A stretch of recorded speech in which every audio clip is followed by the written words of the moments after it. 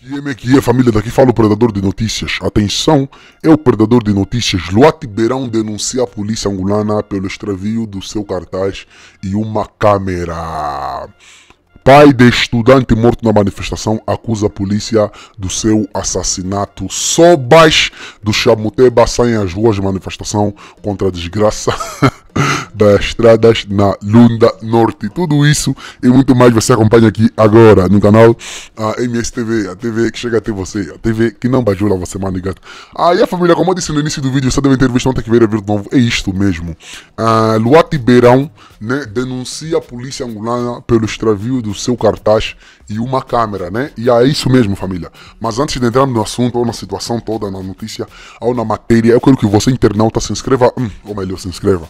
Vá comprar o e-book da Biala International com título Angola Precisa de Você, do autor Paulo Biala, né? E a família, é mais ou menos isso. Ah, o valor, o, o e-book está disponível no valor de 3 mil kwanza, baratinho, né, irmão? Ah, e para você que estás aí falar, ah, não consigo comprar, como é que eu vou comprar? Olha, chega de mimimi, chega de desculpa. Os contatos estão na descrição, quer seja Instagram, WhatsApp, ah, Facebook ah, e e-mail. Então não há desculpa, vai lá e compra, tá entender, família? É mais ou menos isso, porque Angola precisa de vocês. Sem mais blá blá blá, sem mais delongas, vamos aqui para a matéria. Segundo o site Lil Pasta, Luat Beirão denuncia a polícia angolana ou do MPLA pelo extravio de cartaz e uma câmera. Hein?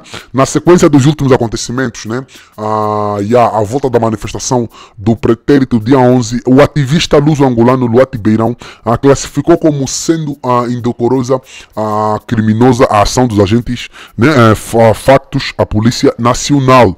Através da sua conta do Facebook, o ativista luso-angolano formalizou uma denúncia pública né, ah, relativamente à apreensão dos seus bens durante né, a manifestação do dia 11 de novembro. Ah, Trata-se de apreensão forçada de uma câmera, né, GoPro, uma bolsa uh, que continha chaves de casa, uh, uh, um power bank e um cartaz.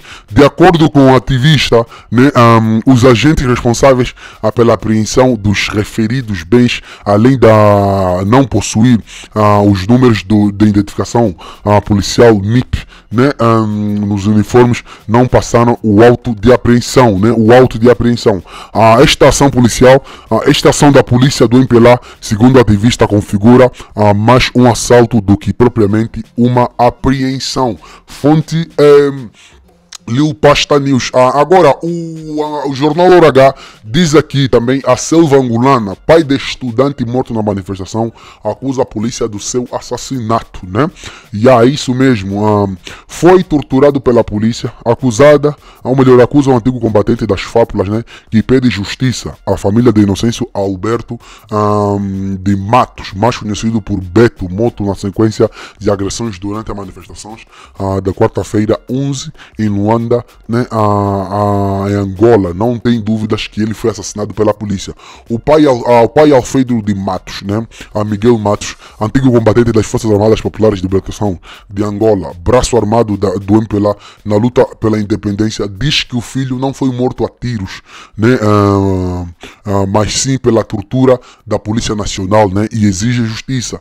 Pelo que vimos, ele foi assassinado pela polícia. O meu filho não foi baleado, mas vê-se que foi torturado pela polícia, afirma o pai do jovem de 26 anos, né, de idade, estudante do terceiro ano de Ciências de Computação na Universidade Agostinho Neto.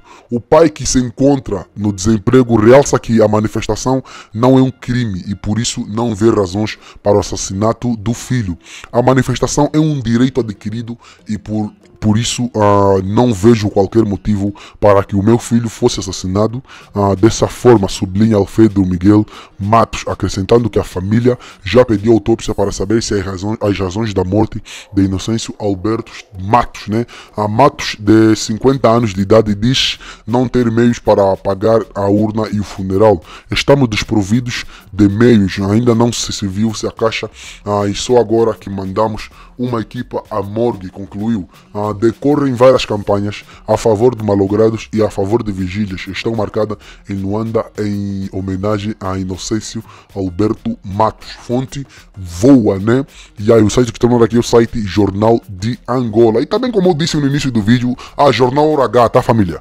Ah, também como eu disse no início do vídeo, só deu uma entrevista ontem que veio de novo. É isto mesmo.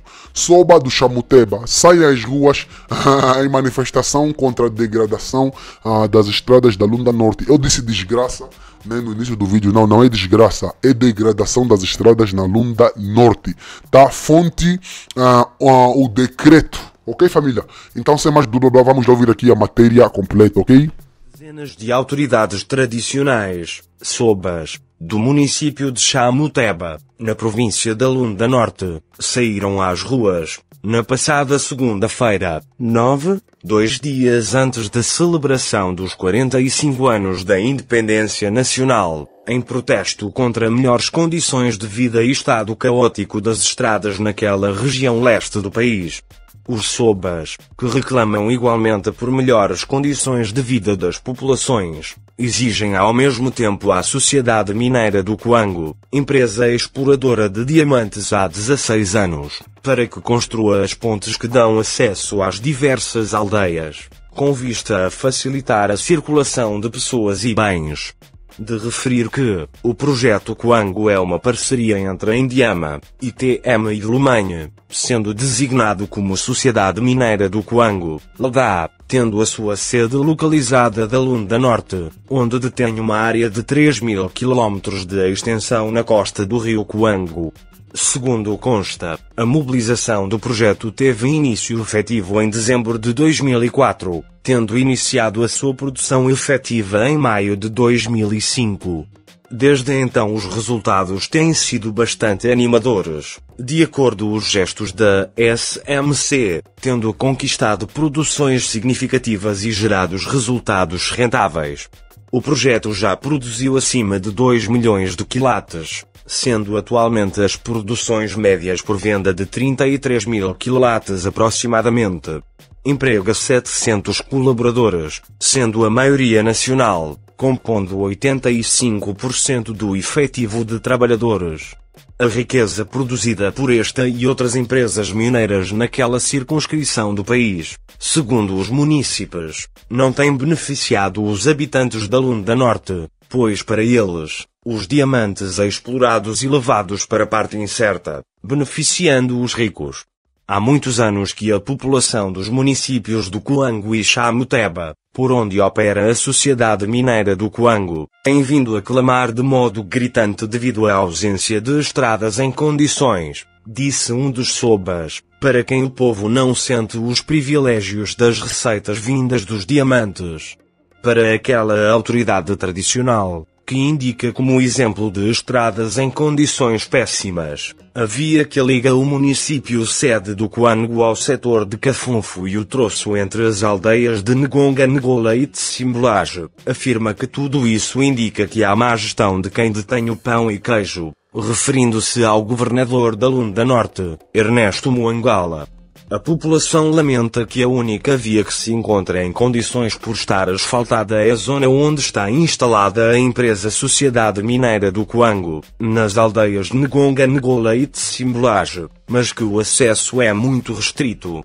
Como já reportou o decreto em edições anteriores, esta via, denominada pela população local como Estrada dos Ricos, não é qualquer cidadão que pode lá circular, apenas o governador, os administradores municipais, generais, brigadeiros, comandantes municipais e provinciais, bem como dirigentes do partido MPLA, lembrou outra autoridade tradicional. O resto dos pacatos cidadãos são obrigados a utilizar a via nacional, por onde todos os dias há capotamento de viatura devido ao mau estado da estrada que se encontra completamente esburacada, disse o decreto. E a família, uh, yeah, o vídeo de hoje foi esse. Se vocês curtiram, sabem o que fazer, se inscreva no canal, ative as notificações, partilhe o vídeo, comenta porque está é notícia, você não sabia, até saber a partir de nós, então é notícia. A nossa campanha para aprender a família dos Santos, para aprender esses marimbondos todos que andaram uh, aí a roubar dinheiro público para tirar o MPLA do poder continua.